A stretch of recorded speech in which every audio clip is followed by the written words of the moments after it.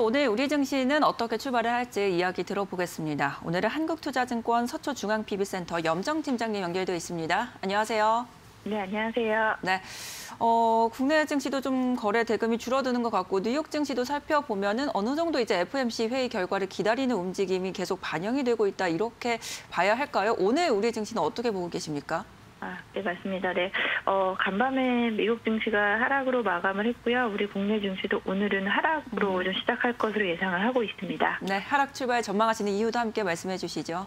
네, 앞서 말씀하신 대로 FOMC 회의를 앞두고 지금 경기 심리가 좀 지속된다라는 분위기고요. 그리고 어제 발표한 어, 생산자 물가지수 역시도 이제 급등을 하면서 사실은 이제 물가 상승에 대한 인플레에 대한 우려가 가장 큰 부분이다. 그리고 금리 인상을 좀, 어, 더 가속화시킨다라는 부분에서 사실 지금 이제 투자 심리 자체가 지금 좀 위축되고 있다라는 부분 그리고 이제 거래 대금 자체도 지속적으로 좀 줄어들고 있다라는 부분을 말씀드릴 수 있겠고요.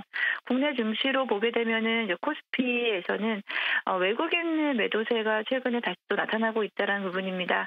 어, 특히나 이제 시총 상위 종목들의 하락 하락세가 좀 눈에 보이는 부분인데요. 어, 그를 통해서 아무래도 전체적인 이제 투자 심리 자체가 조금은 위축돼 있다라는 모습을 볼 수 있겠고 어, 최근에 이제 흐름이 좋았던 반도체 쪽에서의 흐름이 조금은 좀 또 누그러지는 부분 그리고 어, 올해 사실 시장을 좀 주도했던 2차 전지 섹터 자체가 좀 하락하고 있다는 부분에서 사실 이제 주도주 역할을 하고 있는 대형주에서의 방향성이 지금 조금은 어, 좀 뚜렷하지 못한 부분이 좀 아쉬운 부분이 있습니다. 그리고 코스닥에서는 마찬가지로 시총 상위 종목들의 약세가 지속이 되고 있는데요. 어, 최근에는 뭐 아무래도 코로나 확산세로 인해서 바이오 업종 일부 종목들의 움직임이 좀 나타나고 있고요. 특히나 뭐 게임이라든지 NFT 관련 종목들이 조금은 지금 어, 흐름 자체가 꺾이면서 어, 강세 업종이 없는 상황에서 어, 코스닥은 계속 약보합을 보이고 있습니다. 네, 계속해서 3,050포인트 선에서 지금 좀 막혀 있는 듯한 느낌. 그렇지만 FMC 회 결과가 나오면 또 분위기가 달라지지 않을까 싶은데 그러면 저희는 전략을 어떻게 세워보면 좋을까요? 네, 일단은 올해 연말 이제 영업이 어, 매매 기준으로는 얼마 남지 않았습니다. 어, 아무래도 이 분위기는 계속 이어질 거라고 생각이 드는데요. 어, 지금 변동성이 큰 장세보다는 저는 안정성을 좀 추구하는 전략으로 가져가시는 게 좋겠다 생각하고 있습니다. 12월 들어서 흐름 자체를 볼 때 과대 낙폭이 된 대형주 중심으로 이제 매수세가 좀 모여든다. 아무래도 지금 갈 수 있는 섹터 자체 주도 섹터가 없는 분위기에서 낙폭이 과대한 종목이 조금 반등하는 모습을 좀 보이고 있습니다. 그렇기 때문에 이제 대형주 중심의 장세가 조금 이어지고 있고요.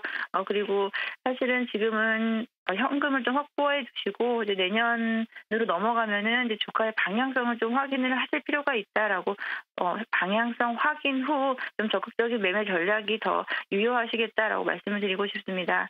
어, 뭐 최근에는 코로나 확산세 그리고 다시 어, 아무래도 그런 어, 아무래도 정부의 정책 등이 좀 변화가 있을 거라고 생각을 해서요. 바이오주는 관심을 가져주시는 건 좋긴 합니다. 뭐 SK 바이오사이언스, 삼성 바이오로직스 등이 사실 어제도 다시 반등을 시도했는데요. 어, 이렇게 백신, 뭐 치료제 관련주에 대해서 관심을 가져주시는 건 좋은데 아무래도 분위기 자체가 이런 치료제 관련주들의 중소형주도 좀 사실 변동성이 크게 나타나고 있습니다. 이런 종목들은 저는 좀 최근엔 최근의 분위기를 봤을 때는 변동성으로 인해서 오히려 어, 조금 더 이제 아무래도 좀 위험성이 있다라고 보고 있기 때문에 어, 좀 주의하시는 게 좋겠다. 바이오 쪽에 관심을 가지시겠으면은 대형주 중심의 어, 포트를 구성하시는 게 좋겠다라고 말씀을 드리고 싶고요.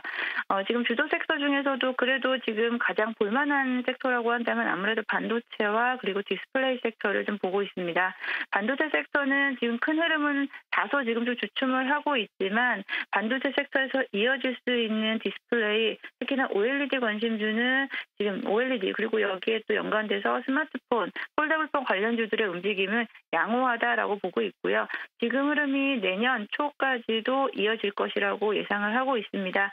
반도체에서는 어, 뭐 대형주를 중심으로 해서요. OLED 관련주, OLED 관련주 쪽에서는 뭐 LG 디스플레이라든지 그리고 OLED 그리고 카메라 모듈 관련주에 대한 부분 중소형주도 지속적으로 관심을 가져주시면 좋을 거라고 생각하고 있습니다. 네, 오늘 말씀도 감사합니다. 네, 감사합니다.